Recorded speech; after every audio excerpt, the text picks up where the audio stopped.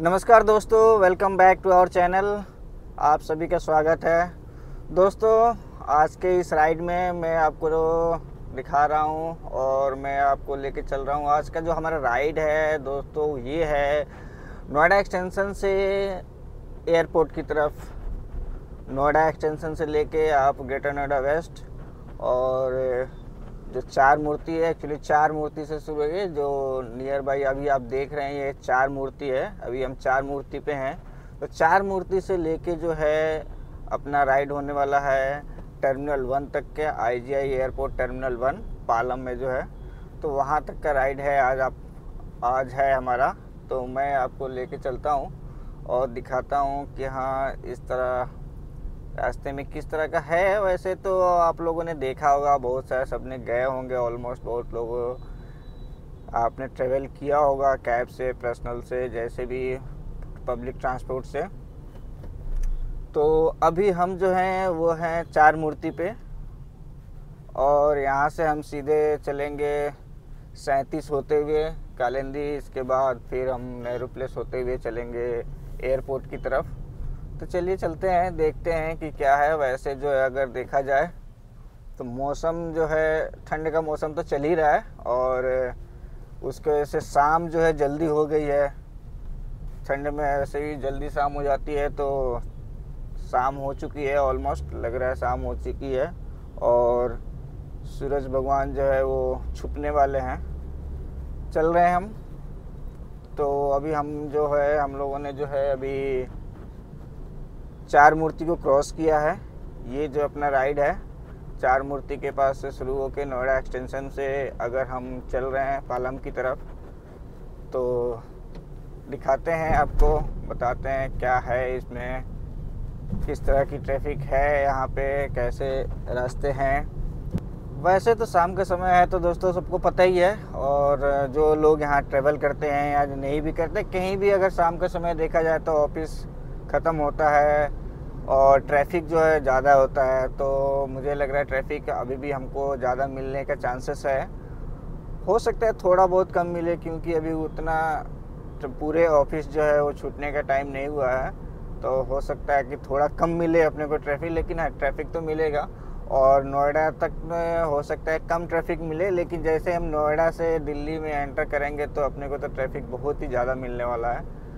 तो एक से डेढ़ घंटा लग सकता है अपने को ट्रैफ़िक के कारण। वैसे तो ज़्यादा से ज़्यादा देखा जाए, पचास किलोमीटर का राय, पचास किलोमीटर है नोएडा से लेके, ग्रेटर नोएडा से लेके अपना पालम एयरपोर्ट जो है पचास किलोमीटर है तो नियर अबाउट एक घंटा तो लग ही जाएगा। और शाम का समय है, ट्रैफ़िक मिलेगा तो अपने को एक घंटा से ज़्यादा लगने वाला है। मुझे लग रहा है एक से डेढ़ घंटा डेढ़ घंटा के आसपास लग सकता है हमें वहाँ पहुँचने में। तो चलते हैं, देखते हैं कि क्या है। वैसे मौसम तो शानदार है। मौसम तो ज़्यादा ठंड तो नहीं है आज हल्का हल्का ठंड है। उतना ठंड तो नहीं ले लेकिन हाँ अगर आप बाइक से चल रहे होंगे तो आपको ऑब्वियस ये ठंड तो फील होगी। दोस्तों, जैसे कि देख रहे हैं आप कि हम परथला ब्रिज को जो है, परथला फ्लाईओवर जो है, उसको क्रॉस कर रहे हैं। और शानदार, आप देख रहे हैं सूरज की किरणें जो है छुपने वाली है। तो कितना प्यारा सा दृश्य लग रहा है वो। और जैसे ही हम ग्रेटर नोएडा वेस्ट से नोएडा एक्सटेंशन से बाहर निकलते हैं तो अपने को पहला जो है परथला फ्लाईओवर मिलता है तो बढ़िया है। अभी न्यूली कंस्ट्रक्टेड शानदार है, लाइटिंग वाइटिंग सब है। और परथला फ्लाईओवर क्रॉस करने के साथ ही हम जो है नोएडा के अंदर इंटर हो जाते हैं। और नोएडा के अंदर इंटर करते ही, आपको थोड़ी सी ट्रैफ़िक जो है वो इम्प्रूव हो जाती है। थोड़ी सी ट्रैफ़िक जो है ज़्यादा हो जाता है आपको। आपको जो है नोएडा एक्सटेंशन से और ग्रेटर नोएडा के अपेक्षा जो है ट्रैफ़िक जो है थोड़ा सा ज़्यादा यहाँ मूवमेंट रहता है। दोस्तों, नोएडा के अंदर जब हम ट्रैवल करते हैं तो आपको ट्रैफ़िक जो है ना वायलेट करने वाले ही बहुत मिल जाएँगे आपको। बाइक वाले, गाड़ी वाले ट्रैफ़िक जो है इधर से उधर ब्रेक करते हैं। कोई इंडिकेटर देगा नहीं, लेकिन घूम जाएगा। इस तरह की जो है घटनाएँ जो है ना, यहाँ पे जो है ना आपको नोएडा के अंदर ज़्यादा मिलती है। ऐसे दिल्ली में भी है, वैसे अगर देखा जाए तो हर जगह ही है। बहुत ही मोस्टली जगह पे लोग जो है ट्रैफ़िक वायलेट कर देते हैं ट्रैफ़िक तोड़ देते हैं। और सब कुछ जल्दी रहती है जाने की। क्या कर सकते हैं तो दोस्तों, अभी हम आ गए हैं। देखिए, अगर आप देख पा रहे होंगे, आप जैसे कि वीडियो में देख रहे हैं, हम जो है आ चुके हैं सेक्टर बावन के पास, नियर हम। और बावन सेक्टर बावन के पास जो है मेट्रो स्टेशन ही है। मेट्रो स्टेशन, अगर आप नोएडा एक्सटेंशन से आ रहे हैं, ग्रेटर नोएडा से आ रहे हैं तो आपको नियरेस्ट मेट्रो जो मिलती है, वो यही है सेक्टर बावन के पास है। सेक्टर बावन मेट्रो स्टेशन ही है, या। यहीं में आपको सेक्टर 51 का मेट्रो स्टेशन जी है, जो आपको सेक्टर वन का सेक्टर 51 का मेट्रो स्टेशन है, जो आपको अगर परी चौक की तरफ़ जाना है तो उस मेट्रो को आप पकड़ सकते हैं। दिल्ली की तरफ़ जाना है तो आप सेक्टर बावन वाले जो मेट्रो, दिल्ली मेट्रो है, उसको पकड़ सकते हैं और कहीं जा सकते हैं, दिल्ली। तो अभी जो है, हम हैं सेक्टर बावन मेट्रो स्टेशन के पास, अंडर अंडरपास से हम होके गुजरेंगे। ये भी अंडरपास जो है न्यूली कंस्ट्रक्ट है। और आप देख रहे होंगे दोस्त वीडियो में जो है हम अंडरपास से होके गुजर रहे हैं। ये सेक्टर बावन मेट्रो स्टेशन का अंडरपास है। और सूरज भगवान जो है कितनी प्यारे दिखाई दे रहे हैं। मस्त एकदम लग रहे हैं, क्या शानदार लग रहे हैं। सूरज भगवान जो है इवनिंग के टाइम होने के कारण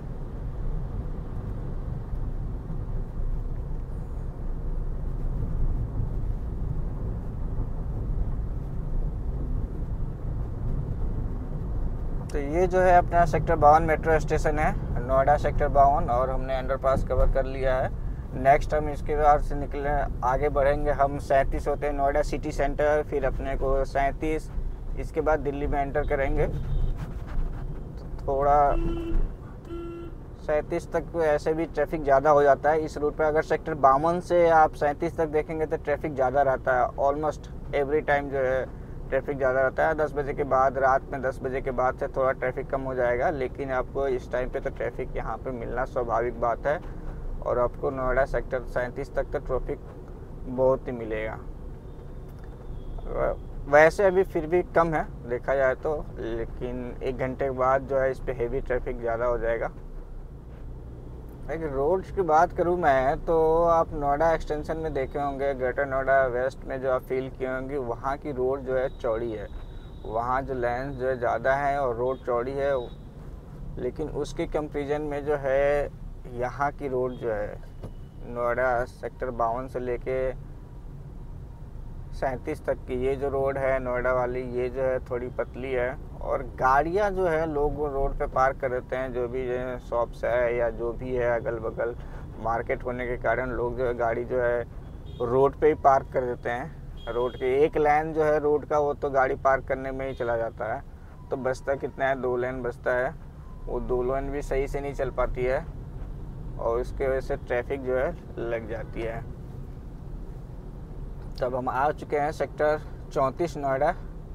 इसके बाद अपना सिटी सेंटर आएगा, नोएडा सिटी सेंटर। अगर आपको घूमना फिरना है तो नोएडा सिटी सेंटर जा सकते हैं। बगल में मॉल है आपका। हम जो है सिटी सेंटर क्रॉस कर रहे हैं, Noida city centre, metro station. इसको हम क्रॉस कर रहे हैं। इसके बाद जो है अपना गोल्फ कोर्स, मेट्रो स्टेशन आएगा। इसके बाद सेक्टर सैंतीस से हम सीधे दिल्ली में एंटर कर जाएँगे। और अपना कोशिश रहेगा कि जब तक ट्रैफ़िक इंक्रीज हो, उससे पहले ज़्यादा से ज़्यादा डिस्टेंस कवर कर लिया जाए, ज़्यादा से ज़्यादा। अगर हम कालिंदी कुंज को पार कर लेते हैं ट्रैफ़िक इंक्रीज होने से पहले तो अपने को ज़्यादा टाइम नहीं लगेगा, क्योंकि वहाँ जो है, आगे जो है, एक दो जगह ही अपने को ट्रैफ़िक मिलेगा, नेहरू प्लेस मिलेगा, कालका जी मिलेगा। नेहरू प्लेस कालका जी और इसके बाद जो है हौज खास के आसपास आईआईटी के पास आपको हमको जो है ट्रैफ़िक मिलेगा, उसके बाद आगे ट्रैफ़िक नहीं मिलेगा क्योंकि हम फ्लाईओवर फ्लाईओवर पकड़ के चलेंगे तो ज़्यादा हमको ट्रैफ़िक नहीं मिलेगा। तो ये जो दोस्तों है, देखिए, हम गोल्फ कोर्स मेट्रो स्टेशन से निकल रहे हैं। गोल्फ कोर्स को क्रॉस कर रहे हैं। इसके बाद हमें मेट्रो स्टेशन नहीं मिलेगा क्योंकि लाइन जो है मुड़ जाती है बोट निकल चली जाएगी। आगे मेट्रो स्टेशन से होके तो नहीं गुजरेंगे हम, लेकिन लाइन अपने को मिलेगी। जो मेजेंटा लाइन है, उससे थोड़ा तो थोड़ा दूर तक उसको हम फॉलो करेंगे। तो हम आ चुके हैं सेक्टर सैंतीस, सामने देख रहे हैं बड़ी सी बिल्डिंग। हालाँकि बहुत दिनों से बन रही है, इनकम्प्लीट चल रही बिल्डिंग है। पता नहीं क्या क्या सीन है कि मैं तो जमाने से देख रहा हूँ इसको, लेकिन वैसे के वैसे ही है। खड़ी है, उतना स्ट्रक्चर तो बन गया उसके आगे नहीं बन रही है ये। मैं जो ट्रैफ़िक की बात कर रहा था, वो यही ट्रैफ़िक है कि सैंतीस में आने के बाद अपने को ट्रैफ़िक मिलेगा। ये थोड़ा देर 500 मीटर के आसपास 300 मीटर के आसपास का ये ट्रैफ़िक रहता है यहाँ पे।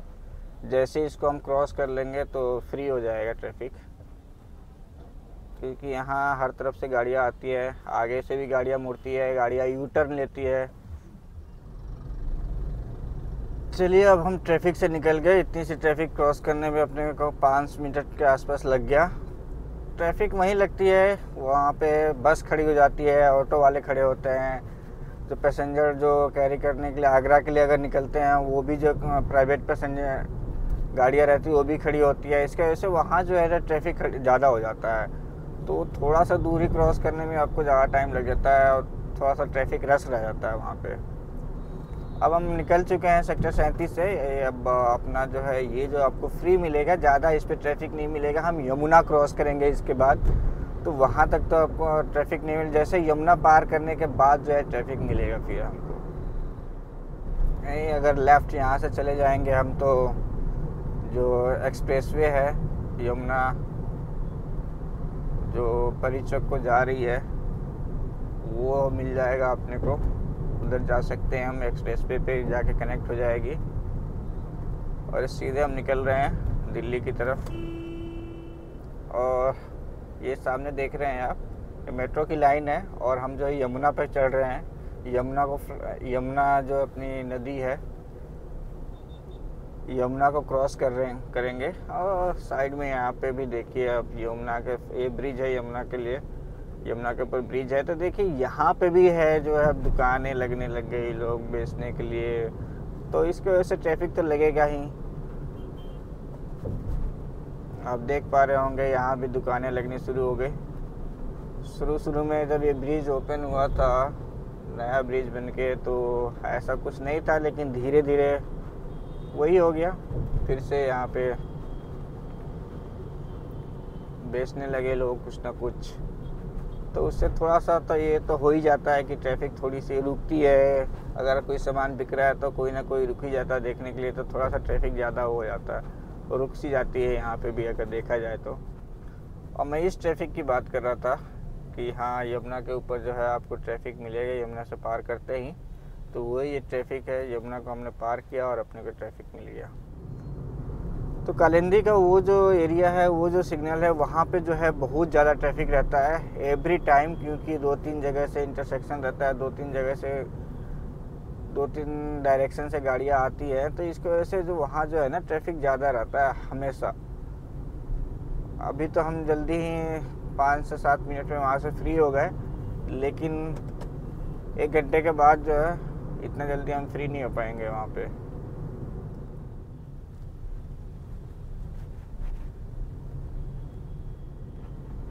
यहाँ से रूट जो है कट जाता है, बदरपुर बॉर्डर का अगर जाना है आपको तो यहाँ से लेफ़्ट लेके जा सकते हैं। सीधे हम नेहरू प्लेस के लिए निकल सकते हैं।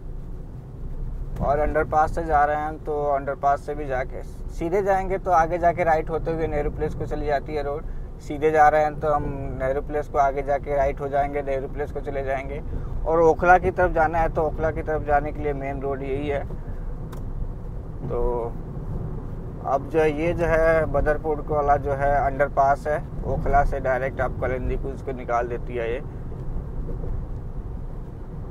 तो हम जो अभी जो है अंडरपास से होके गुजर रहे हैं। अंडरपास तो है, लेकिन ये जो है, इसके अंदर जो रोड डाला है, बहुत ही ख़राब कंडीशन में है रोड ये। गड्ढे इतने ज़्यादा है इसमें, और ये एक साल या दो साल से ऐसे नहीं है। मुझे लग रहा है पाँच साल से ज़्यादा हो रहा होगा। और इस रोड की कंडीशन इसी तरह है। मेंटेनेंस नाम की कोई चीज़ नहीं है इस रोड पे। गड्ढे हैं तो वैसे ही गड्ढे हैं, आपको गड्ढे मिलेंगे ही। मेंटेन कोई इसको नहीं कर रहा। यहाँ एक बार उसको बना दे तो कुछ दिन तक चले, लेकिन वैसा कोई कुछ नहीं कर रहा। है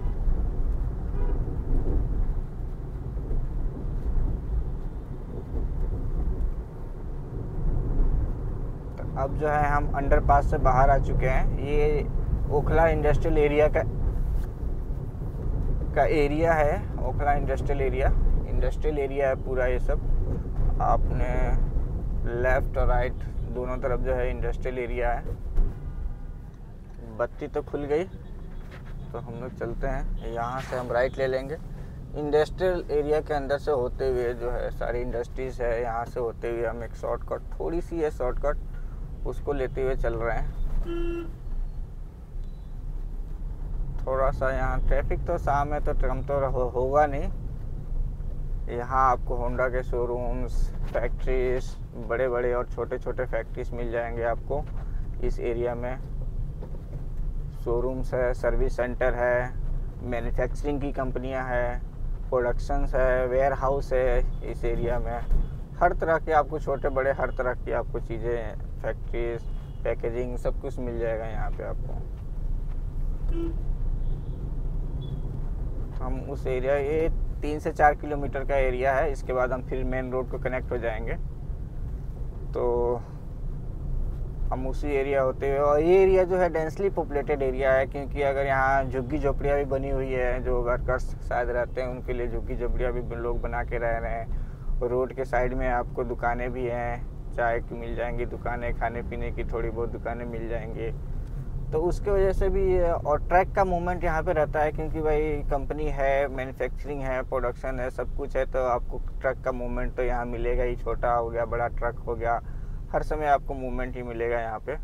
तो उसके वजह से भी यहाँ पे थोड़ी सी गाड़ियाँ का मूवमेंट ज़्यादा रहता है। और शाम का समय है तो पब्लिक भी निकलती है रोड पे। मार्केट लगे हुए हैं तो मार्केट के लिए भी पब्लिक आती है रोड पे। तो सारी चीज़ें हैं, उसको ऐसे यहाँ जो है थोड़ा सा वो है और इस एरिया में उस टाइप का है।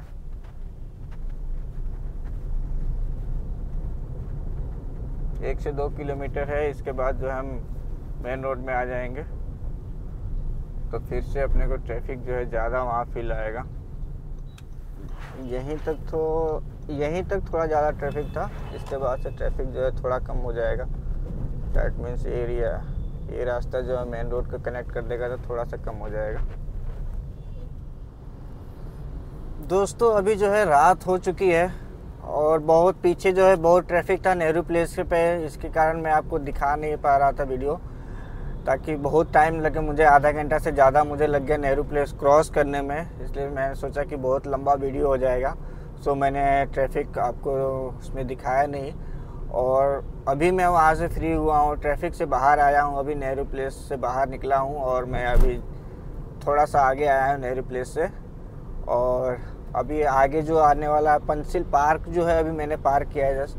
अभी जो है, आगे भी बहुत सारा ट्रैफ़िक दिख रहा है ताकि बहुत सारा ट्रैफ़िक मुझे दिख रहा है आगे भी और मुझे लग रहा है आगे भी बहुत ही ट्रैफ़िक मिलने वाला है और दो से तीन फ्लाई दो फ्लाईओवर कम से कम अपने को ट्रैफ़िक मिलेगा।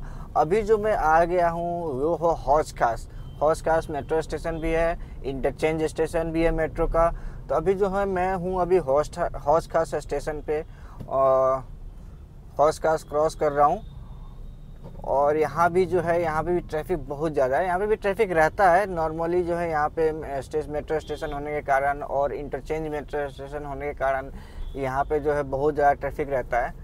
तो हम जो है, अभी हाउस खास क्रॉस कर रहे हैं। ज़्यादा ट्रैफ़िक नहीं है। मूविंग ट्रैफ़िक है ये। इसमें इसको हमको क्रॉस करने में ज़्यादा टाइम नहीं लगेगा।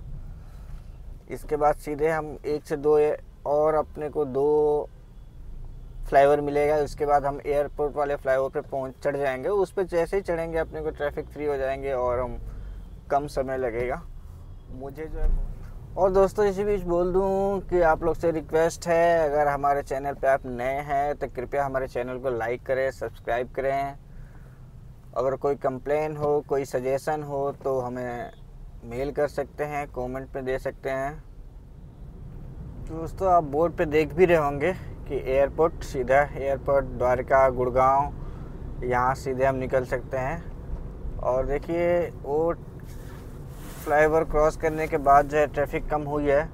और ये फ्लाईओवर जिस पे अभी हम चढ़ रहे हैं, ये फ्लाईओवर सीधे जो है, अपने को एयरपोर्ट फ्लाईओवर, एक कनेक्टिंग फ्लाईओवर है, जो डायरेक्ट एयरपोर्ट ऊपर ऊपर लेके जाती है फ्लाईओवर है वहाँ पे कनेक्ट कर देगी। तो उसके बाद जो है, इस पर भी ट्रैफ़िक नॉर्मल है। और इसके बाद ये फ्लाईओवर कनेक्ट कर देगी अपने को एयरपोर्ट वाली फ्लाईओवर पे तो हम सीधे निकल जा सकते हैं। आपको बहुत दूर से तो आपको वीडियो में तो नहीं दिख रहा बोर्ड लेकिन हाँ आपको आगे चल के मैं दिखाऊँगा कि जो कनेक्टिंग फ्लाईओवर है, उससे हम सीधे एयरपोर्ट को निकल जाएँगे। सीधे आप अगर जाना चाहें तो बसंत बिहार चले जाएँगे, और जो कनेक्टिंग फ्लाईओवर है, उसको हम लेंगे तो सीधा एयरपोर्ट की तरफ़ निकल जाएँगे। तब हमको ट्रैफ़िक जो है, ये ये फ्लाईओवर जो बनाया गया था वो ट्रैफ़िक को बाईपास करने के लिए ही बनाया गया था। जिनको सिटी के अंदर नहीं जाना है, सीधा एयरपोर्ट के लिए निकलना है तो उनके लिए काफ़ी अच्छा है ये, और इससे बहुत सारा ट्रैफ़िक भी बच जाता है और टाइम भी बच जाता है। आप देख रहे होंगे, जैसे एयरपोर्ट के लिए आपको बोर्ड दिख रहा है। तो यहाँ से हम लेफ़्ट लेंगे और एयरपोर्ट में क्लियर सीधे निकल जाएँगे। यहाँ लोग कंफ्यूज हो जाते हैं। हालाँकि एयरपोर्ट भी जा सकते हैं इस रूट से। द्वारका के जो जाना है, उनके लिए भी सही हो गया है। और जो गुड़गांव जाना चाह रहे हैं, उनके लिए भी सही है। हालाँकि ज़्यादा चौड़ा ये फ्लाईओवर नहीं है, दो लेन का ही है। तीन लेन है, छोट पतला पतला है, लेकिन ये है कि आपको बहुत सारा ट्रैफ़िक जो है बाईपास करता है, बहुत सारा ट्रैफ़िक एयरफोर्स के एरिया में आ गए हैं हम। हम सीधे जो है फ्लाईओवर जो है एयरफोर्स के एरिया से होकर गुजरता है। तो एयरफोर्स के एरिया में आ गए हैं। ये फ्लाईओवर उतरे जहाँ ख़त्म होगा, उसके 100 मीटर के बाद 200 मीटर के बाद एक और फ्लाईओवर चालू होगा और उससे हम सीधे एयरपोर्ट के लिए निकल जाएँगे। जो फ्लाईओवर धौला कुआँ से आके कनेक्ट करती है। यहीं से सीधे अगर हम निकल जाएँगे तो गुड़गांव की तरफ़ चले जाएँगे और एयरपोर्ट के लिए जाना हो, टर्मिनल वन के लिए अगर जाना हो तो हम यहाँ से लेफ़्ट चलेंगे क्योंकि हमको टर्मिनल वन जाना है और टर्मिनल थ्री जाना है तो आपको सीधे जाना पड़ेगा। गुड़गांव और टर्मिनल थ्री के लिए सीधे आपको निकलना पड़ेगा और द्वारका और एयरपोर्ट वन, है, टर्मिनल वन के लिए हमको जो है लेफ़्ट चलना पड़ेगा। तभी हम यहाँ से लेफ़्ट लेंगे हम लोग और क्योंकि अपने को टर्मिनल वन चलना है तो यहाँ से हमने लेफ़्ट ले लिया है।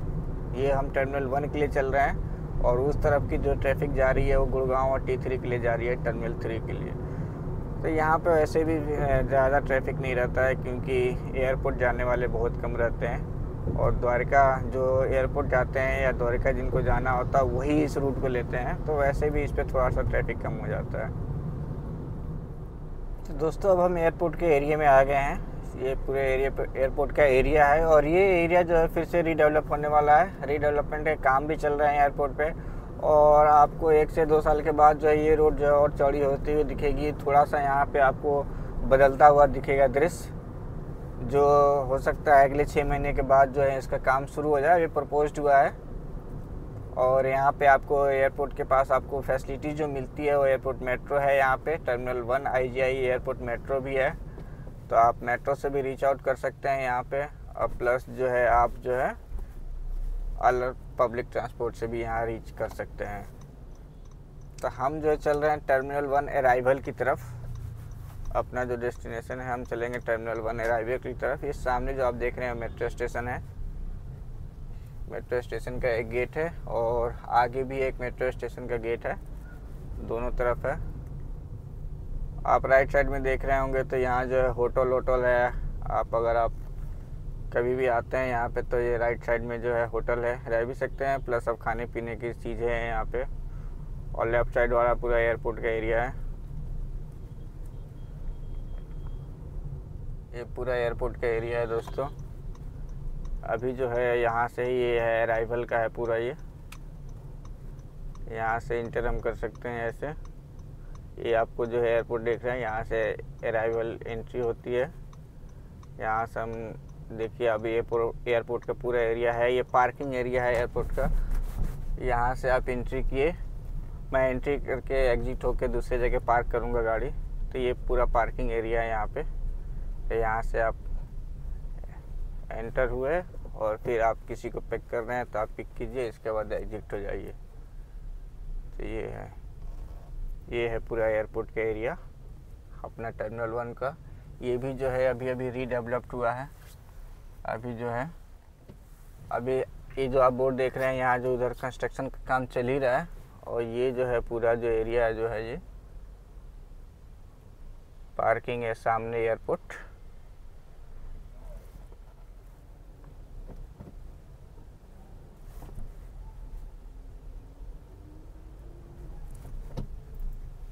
यहाँ से एग्जिट हो जाएँगे। तो जिसको मैं पिक करने आया अभी इसमें टाइम है तो मैं बाहर जाके इसको गाड़ी पार्क करूँगा। ये जितना आप देख रहे हैं L N T L N T का वर्क जो है डेवलपमेंट का चल रहा है अभी यहाँ पे। वर्क जो है, वो काम चल रहा है यहाँ पे। दोस्तों, मैंने जो आपको दिखाया पूरा एयरपोर्ट का एरिया जो है टर्मिनल वन अगर आप नोएडा एक्सटेंशन से आते हैं टर्मिनल वन पे तो किस तरह से आना है और दिल्ली से होते हुए हम गुजरते हैं, बहुत सारे ट्रैफ़िक रहता है। तो आज का वीडियो यहीं तक था और नेक्स्ट वीडियो में मैं आपको फिर कहीं और का टूर दिखाऊँगा, कहीं और का राइड दिखाऊँगा। तो आज के वीडियो में यहीं तक। आप लोगों का बहुत बहुत धन्यवाद। कृपया आप हमारे चैनल पर नए हैं तो कृपया हमारे चैनल को लाइक और सब्सक्राइब ज़रूर करें। और कोई कंप्लेन कोई सजेशन हो तो हमें ज़रूर दें। बहुत बहुत धन्यवाद।